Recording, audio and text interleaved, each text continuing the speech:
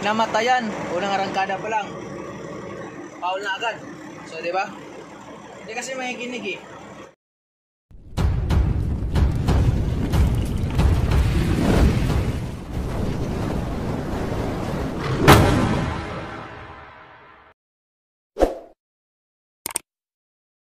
So, magandang gabi sa inyong lahat mga kabisdak. Ah, welcome back to my channel, no?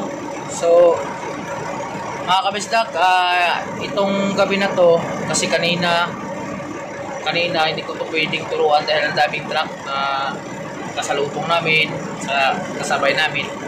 Ang daming truck, di, hindi pwede. Gusto kong turuan sana ng araw to para medyo naman malinaw-linaw. Ang problema naman, ang kadami-daming truck. So ngayon, ang, ito yung Ah, pangalawa kong pagtuturo sa kanya mga kabisdak. So ngayon, tuturuan ko na naman to kasi gusto niyang mag Gusto mo ba mag-truck driver? Hindi. Gusto. Hindi yung totoo to eh. Ha? Yung totoo ba? Oo nga. Ah. gusto niya daw na makabalo. So, kung bago pa lang ka sa kong channel, kung bago ka lang sa channel ko mga kabisdak, no? Huwag niyong kalimutan i-click yung subscribe button at pakihit na lang din sa notification bell. At huwag niyo din kalimutan i-share, likes at mag-comment sa comment section natin kung ano yung mga katanungan niyo, ah kung ano yung gusto nyong i-vlog ko, no? So, maliit pa lang tong bahay ko mga kabisdak, maliit pa lang tong channel ko. So, sana naman ah mag-subscribe kayo kung mapanpan man kayo dito sa channel ko. So, maraming salamat. So, ngayon, siyempre mga kabisdak, bago tayo magturo sa mga helper sa helper natin, no? sa mga helper natin, kung sino mo yung driver makikita nito, ah hindi mo na talaga hindi talaga natin pwedeng kalimutan yung hindi mo muna natin sila ano yung dapat gawin kahit na naka-drive na sila ng isa, dalawa, siguro mga panglimang drive nito, pwede na siguro na hindi na natin hindi mo. So, let's drive na. So, ngayon, uulitin ko sa kanya kung ano yung tinuturo ko nung una dahil ah, para naman uh, ma-aware siya kung ano yung magagawin. Halimbawa, magkakaroon ng may masira dyan sa harapan namin o sa unahan namin tapos anong gagawin niya? Marino ba siya? Baka ah, briefing lang kasi itong mga kabisdak para hindi mataranta o mayroong mayroong ano, kumbaga mayroong idea na yung helper natin pagdating sa mga ganyang sitwasyon. So ngayon, ay uh, mo ko lang sa kanya kung paano kung gagawin. So ulit doy, ah, alam mo na ba kung saan tayo ano yung first step na gear natin? Patayin natin mayroong alam mo na ba kung alam mo na ba kung ano yung first step gear natin? Kwarta. Ang talino talaga rito. Gusto niya mag-drive truck driver para magkapira. Ngayon, first step na gear niya, kwarta. Single talaga. Ayan mga kabisak, medyo may edad na tong, ah may edad, bata pa pala to kasi magkaedad lang kami nito mga kabisak ano. So, ulitin ko lang first gear.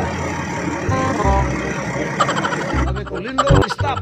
Stop. Ulitin ko pa ba? Malakas po yung ganda Wala, walang masagot mga kabisdak. Ah, mga kabisdak, ah, ito nasa highway kami. Nandito kami sa bypass ng order nita. So, beware po sa nag magbabash akin ha.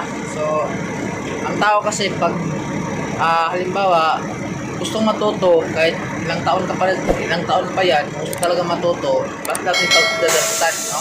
So, hindi pa naman tuhuli ang lahat para sa edad niya.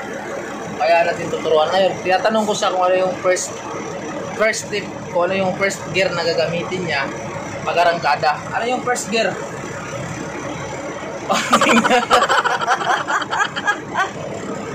so, segunda tayo, huwag mong kalimutan. Kasi pag kinalimutan mo, babalik tayo ng babalik sa uno. Walang, wala tayong ano, wala tayong tawag niyan. Wala tayong improvement sa pagtuturo ko sa'yo, sa pag, pagpa-practice mo kung hindi mo yun tandaan.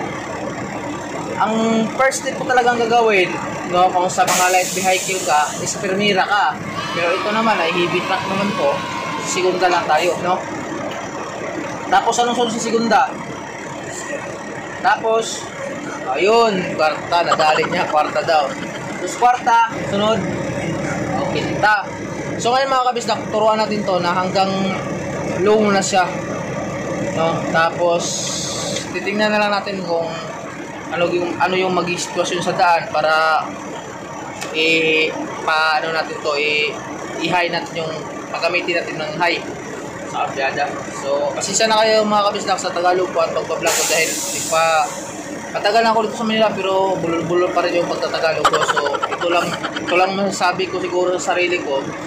Isa yan sa talagang nagpa, ano, na Bisaya talaga. No? Hindi talaga mabibinta, hindi talaga ito mabinta. Bistak talaga. So, sige. First step, segunda. Pero anong gagawin mo ka, bago ka magkambyada? Tapos, oh, ah, oh, clutch, tapos, oh, ano yan? Tingnan mo yung clutch.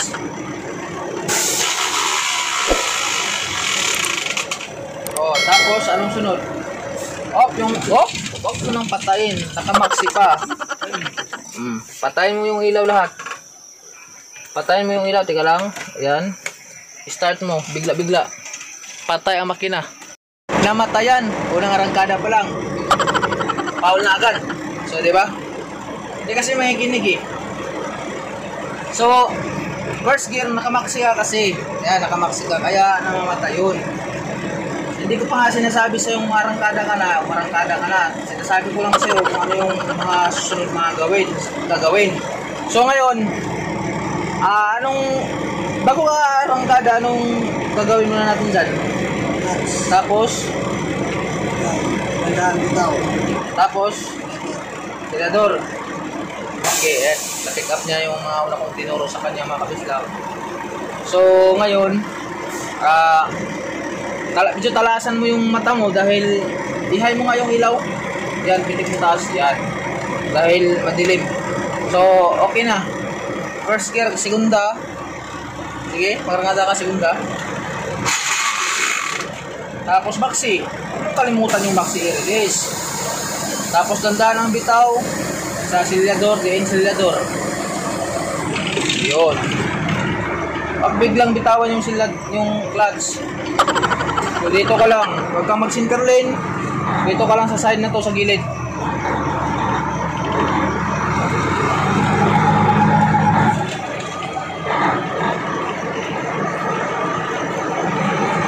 Tercera.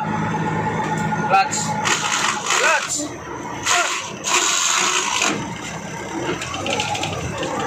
Bitawan mo yung silyador pag ang biyada ka, clutch ang diinan mo. Kwarta. Yun. Clear ka. Ayan, pick up na. Pinta. Pag mong tingnan yung kambyada. Oh, dito. Dito gilid. Yan. Kwarta at saka pinta, nagtatapat yan. Ganyan lang. Pinta lang muna. Oh, area kundi yung sinyador. Mataas yung RPM mo. Yan, tandaan lang. Sige, din, din. Tansahin mo lang yung RPM mo na ayun ang RPM mo sa gilid. Ayan o, nagsampo ang RPM mo, 10. 10. O, di ba? Kailangan, 14 ka lang. Diyan ka lang sa dilaw, pinakataas ng dilaw. Huwag kang lumagpas ng 15. Sige, timunan mo doon dito. Yan. So, ayan mga kabisdak, naka takbo na kami. Kaso nga lang, eh, siyempre, segunda lang out. Hanggang pin pa lang muna siya talaga dahil hindi, niya pa masyadong kabisado itong ano. Okay sana kung Japan to. Eh, ano to eh, ah, kaya ano to. Ah, dito muna siya sa kinta, saka na pag tingnan natin muna dito sa sitwasyon sa kalsada, dito sa pag, ano namin ng tulay kung ano yung magiging sitwasyon.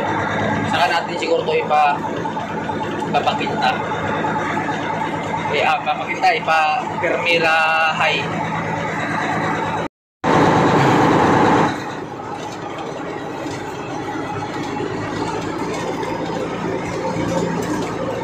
Talasan mo yung mata mo.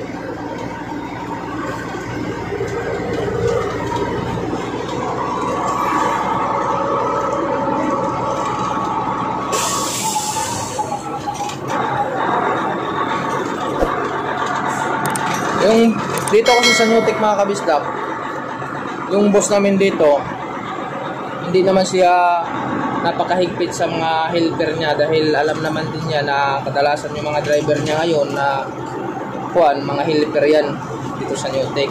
So, proud din ako sa boss namin dahil kahit ganyan yung boss namin, mayroon din siyang malasakit sa mga helper.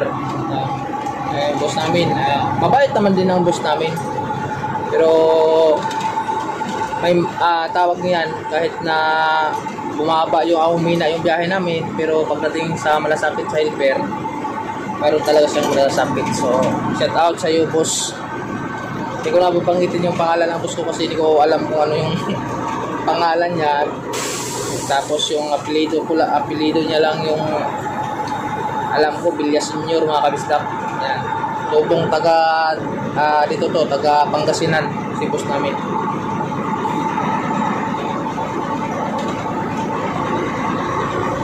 Doy, makinig ka sa akin, Doy, ha? Pag sinabi kong in-neutral mo, tapos pitikin mo yung, ito, pitikin mo tong splitter pataas, pag sinabi kong mangambiyada ka ng Permira High, tika lang, mamaya na. Nagsasalita pa nga lang ako sa'yo eh. Makinig ka, pag sinabi kong pitikin mo tong kambyada sa taas, ah, pag sinabi kong neutral ka, neutral ka, di ba? I-focus mo yung ulo mo, um, kuan mo, mata mo doon. Makinig ka lang sa sinasabi ko. Pag sina dito ka banda sa gilid, huwag kang magpagitna. Pag sinabi ko sa iyo na mag-high ka, ah, mag-neutral ka, tapos pitikin mo yung splitter sa ayusin mo yung manubila mo habang nagano ako. Steady lang yung manubila, kunting lubag-lubag lang, huwag yung ganyan. Huwag yung napakalikot sa manubila. Dinan mo kunti yung RPM mo.